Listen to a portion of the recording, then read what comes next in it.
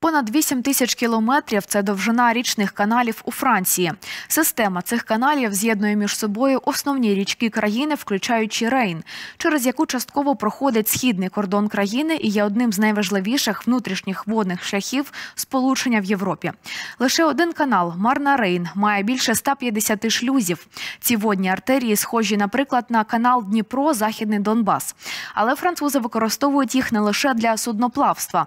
Для чого ще? Детальніше розповість наш власний кореспондент Євген Павленко.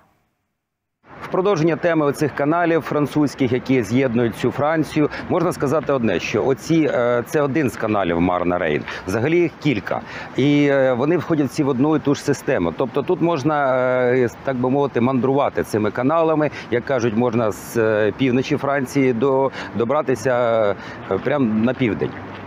Що я маю на увазі? У Франції дуже е, популярне є таке, як плавучі будинки. Я на відео зняв один з них. Там прям да навіть вони машину перевозять разом з собою, щоб мандрувати країною. Вони причалюють і далі вони займаються де їм, що потрібно подивитись. Вони виїжджають французи. Ну переважно, звичайно, що це займається цим пенсіонери, в яких багато часу. Ну такий вид є. Тобто канали використовуються іще як е, для розваг.